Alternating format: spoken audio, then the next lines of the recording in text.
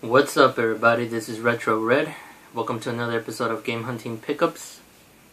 Uh, this week, I well, actually I bought a few things, but I mainly did uh, more trades um, for the for the week, which were really cool trades. Uh, can't wait to show you. Uh, but let me show you just some of the stuff I picked up that is kind of non non game related. Um,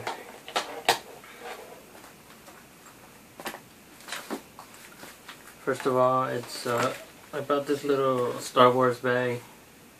Probably nothing special or anything, just a little pencil bag, I believe. And I picked this up for 49 cents. I also picked up a uh, Eagles. Uh, it's a music cheat book, so that's pretty cool. And this came out when they were I guess when their album first came out. I had seen a date somewhere here, 1976. So yeah, this is from 1976. Thought it was pretty cool. Uh, I am an Eagles fan, um, and I'm sure everybody else is. That one main song, the Hotel California. Um, I think that was it. Other than that, I did pick up a flashlight can never have too many whenever we go dumpster diving. I usually don't have, sometimes I don't have some with me, so I just decided to pick another one up and leave it in the car just in case I ever decide to just spontaneously stop, uh, spontaneously stop at a, at a dumpster or something. So I picked this one up for 49 cents as well, which is pretty cool. And now let's jump into, well actually I forgot to show these. I picked uh, I picked these up at a Goodwill also. Guyver. I remember seeing the live action movie when I was little. And I, I really liked it, so just kind of decided to pick this animes up. It has volume 1, 2, and 3. And I picked them up for $2 each.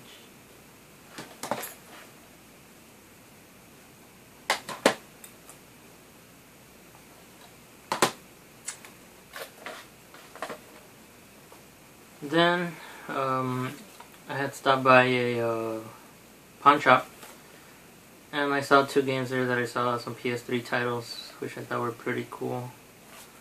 A Budokai HD collection which includes Budokai 1 and Budokai 3 and I bought this one for like 7 bucks.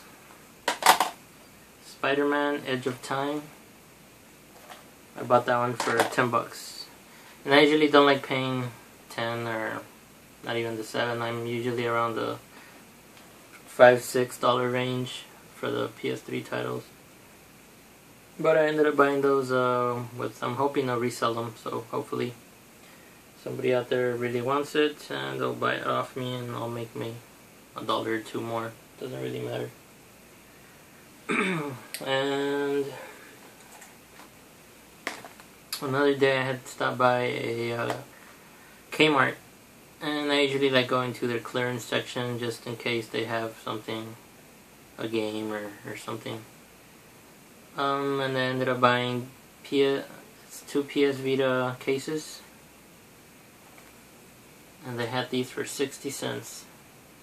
So I really couldn't pass that up. I mean, I don't have any PS Vita games or anything, but, you know, I just bought them for, to throw in as extras or if anybody wants to trade things like that it's good to have just because I don't have any games doesn't mean some uh, anybody else doesn't and then at a Goodwill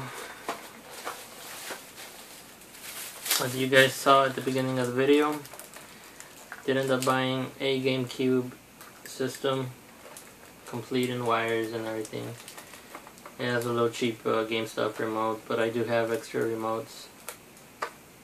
Uh, it looks in really good condition. I haven't tried it out though, but it was only three dollars, so I'm not gonna complain. Even if it's even even if I pay just three dollars for the wires, it was worth it to me. But yeah, I mean it's the original um, GameCube. So I need to try this out and hopefully it works the little door, I tried it already, the door opens fine, it doesn't get stuck. I know people usually have trouble with that, but this one seems to be good condition. Uh, that was actually it for my purchases. Not too many games. I did two trades uh, this past week. Uh, the first one, it was just an even trade, one game. Um, I got DuckTales I am trying to get DuckTales 2, but I've, i know that that's the pricier uh, game of the two. But hopefully later on I can pick it up at a good price. And I traded this one for Ninja Gaiden. Which I thought, because locally I've seen Ninja Gaiden a couple of times, and this one I haven't seen at all, so I know I can replace my Ninja Gaiden quickly. And, you know, like I said, I haven't seen this one before around here, so decided to trade for this one. Uh, after that, I did do another trade. Well, it didn't start off as a trade. Uh, a guy on my Facebook posted that he had a Sega Saturn and a Sega CD game.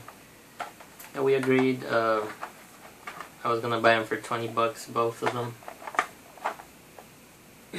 so I stopped by at his house and he has a little shop there at his garage where he resells uh, games. So he's a reseller. So I was surprised he was letting these go at, you know, 10 bucks a piece. Pretty good, decent pricing there. Uh, he usually stuff, but you know, those were a good, uh, a good deal. And uh, he asked me if I was looking for anything else, and of course I said I was. You know, usually Nintendo or you know anything uh, Sega or Game Game Boy games. Uh, and he I started looking around and he had a couple of uh, NES games that I didn't have in my collection so I sort of just pulled them out uh, Codename Viper Qix and Galaga and once I picked those out I asked him if he, he did trades. And he just asked me to bring down my stuff and he would take a look.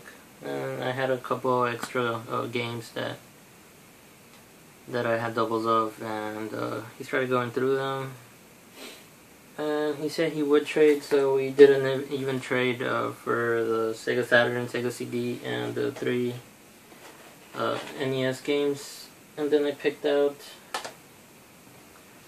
three Game Boy games Dr. Franken and I do have part 2 of this one, so I'm really happy that I have part 1 now. And that one does include the manual. The next one is Pyramids of Ra, which includes the manual. And Centipede Millipede, which also includes the manual. So he threw in those three, and then I saw Tom Mason's Dinosaur for Hire, Dinosaurs for Hire. And he also threw in a game Genie for the Sega Genesis, which I think looks really cool. Like the little foil effect it has. So I did a, an even trade for all of that. Um, like I said, it was just a couple extra games I had. And then he asked me if I had a, a remote for my PS3. I, I don't know, do they do they even have remotes? I'm not sure. Um, I said I didn't, so he he gave me this one, Universal Remote Control Receiver for PS3. Never even heard of these. He said I could program any remote um, to work for with my PS3 with this, and he just threw in this as an extra, so thought it was pretty cool. Probably won't use it, so I might do a trade or just throw it in as an extra next time I do a trade with somebody. And uh, that was it, guys. Um, like I said, I didn't buy too much gaming stuff uh, uh, at the Goodwills and things like that. Mainly doing trades, which I enjoy more than actually buying. Because it means I don't have to spend more money. But yeah. So that was it for this week, guys. I hope you enjoyed the video. Uh, please comment, like, and subscribe. If you can, just help me out and share the videos on your Facebook. Um, I am, like I said, I am putting a, little box together of things uh, that I'm gonna give away for my when I reach 100 subscribers. Right now, I am close to 80, so I'm getting there. Uh, and I appreciate you guys uh, helping me out. So hopefully I can get it 100, and I will do a giveaway. So can't wait to do that. So thanks a lot, guys. Thanks for watching, and I'll see you next time. Peace.